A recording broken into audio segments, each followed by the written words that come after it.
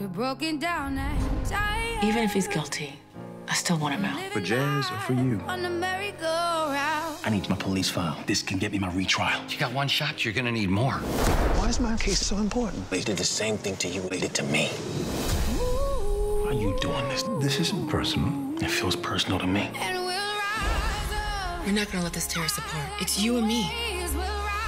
We'll It's a pity you don't see your own potential. It's a pity you don't see beyond these walls. Thank you. I'll never be able to repay you. Miss Wallace, we're here from the district attorney's office. We'd like you to come with us. You involved mom? That was a mistake.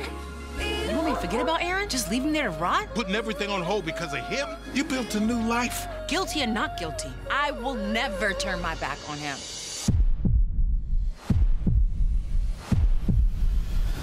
This is gonna get me home. For Life. New episode Tuesday, 10, 9 central on ABC.